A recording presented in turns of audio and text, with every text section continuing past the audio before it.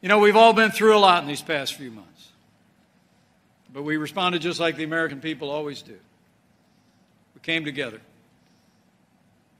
and we're moving forward.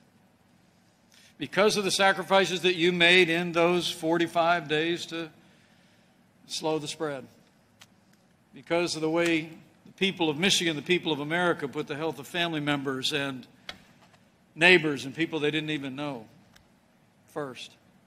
Because of the way that businesses stepped up, put health first, and then also leaned in to make a difference as we stood up our national response. I'm proud to report to you, as the head of the White House Coronavirus Task Force, we slowed the spread. We flattened the curve. We cared for the most vulnerable, and we saved lives.